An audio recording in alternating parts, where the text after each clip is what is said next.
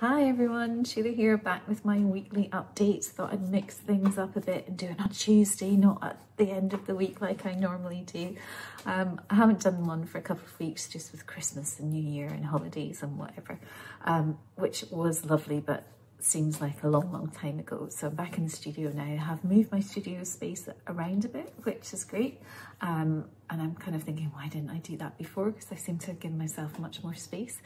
Anyway, just kind of contemplating and get myself worked up for um, this year. Um, I'm not sure what I'm going to be doing, but I'm sure it's going to be quite exciting and I'm looking forward to it. But yeah, just taking a bit of time to take stock because it was a very busy end to the year last year. Um, so looking forward to what 2024 brings in terms of my own practice and hoping that the world becomes slightly less crazy, but I think that's a bit of a vain hope. Anyway, I hope you're all keeping very well and I'll catch up with you again very, very soon. Bye for now.